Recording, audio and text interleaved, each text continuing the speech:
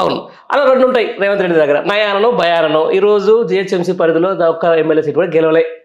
రేపొద్దున చూస్తా ఉన్నాం కాలేజీల మీద దాడులు చెప్తా ఉన్నారు. లేకపోతే వాళ్ళ మీద పర్సనల్గా పోయి కలుస్తా ఉన్నారు. ఏమన్నా కావాలని చెప్పేసి వాళ్ళ మీద కేసులు బనాయిస్తా ఉన్నారు. ఏది బీఆర్ఎస్ పార్టీ సంబంధించిన ఎమ్మెల్యేల మీద. ఎట్లా? ఇవేమన్నా మీకేమన్నా బెదిరింపులు వచ్చినాయా? పండరి క్లియర్ ప్రజలని ప్రజలని ప్రజ ప్రజలన్నీ కూడా గమనిస్తున్నారు. ఎవరే కానీ ఎదిగే కొద్దీ ఒదగాలి. అవును. కానీ ఎదిగినాం కదా అని చెప్పి ఇష్టం వచ్చినట్టుగా చేస్తే మనకు మనం ఇవాళ ఉండొచ్చు పెద్ద మనుషం కానీ ప్రజలన్నీ గమనిస్తారు. ప్రజలు ఏ టైంలో ఏది చేయాలో అది తప్పకుండా చేస్తారు. ఒక్కటి మాత్రం జరుగుతుంది. మరి ఈ ప్రభుత్వంలో మరి ఎవరు బెదిరిస్తున్నారో ఏం జరుగుతుందో ఏం ఏమవుతుందో తెలియదు. కానీ ప్రజల్లో అది మాత్రం వచ్చేసింది. వీళ్ళు భయభ్రాంతులను చేస్తున్నారు. వీళ్ళు అన్ని అందరినీ భయభ్రాంతులు చేస్తున్నారు. కింది క్యాడర్ నుంచి అది వచ్చింది.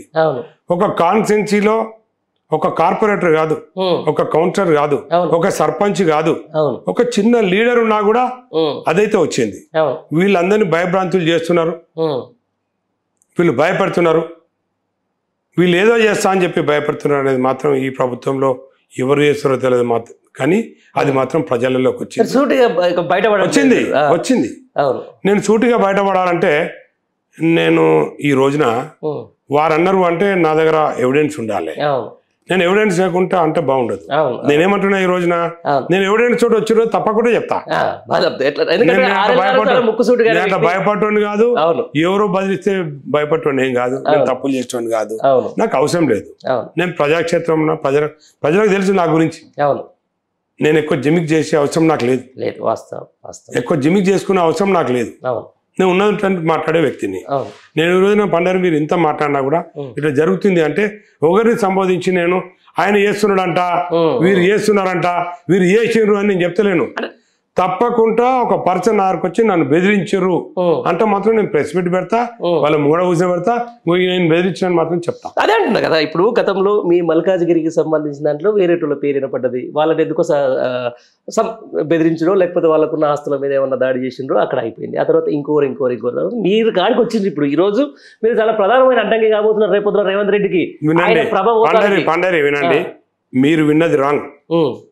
ఈ రోజున ఈ పార్లమెంట్కి వచ్చి కంటెస్ట్ చేయాలి.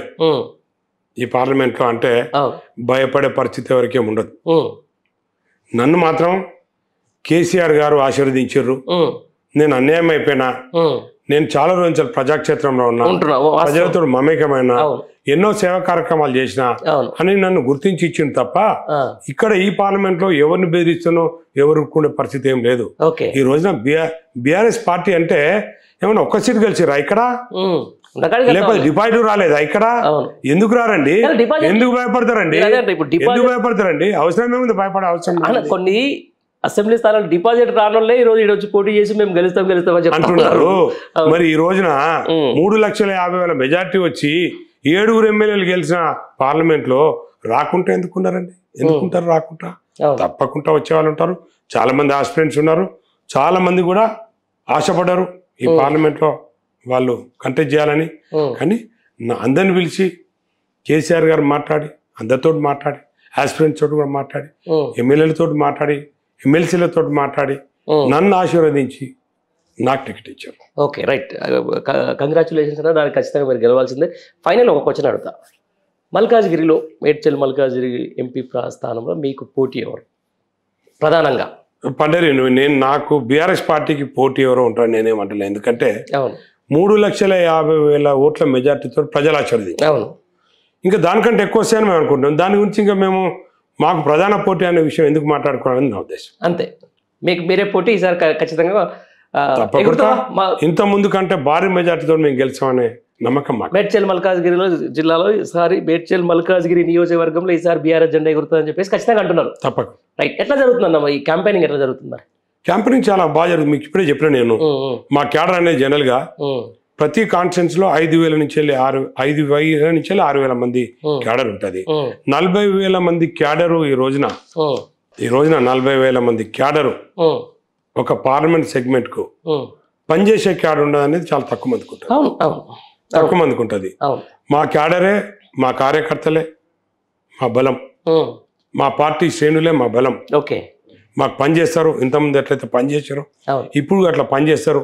ఇంకో మా బలం ఏంటంటే కేసీఆర్ గారు కేటీఆర్ గారు హరీష్ గారు ఓకే. మా ఎమ్మెల్యేలు కూడా. ఓకే.